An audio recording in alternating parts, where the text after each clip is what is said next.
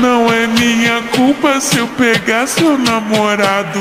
Foi ele que falou que era descompromissado. E todo mundo sabe que eu gosto de dotado.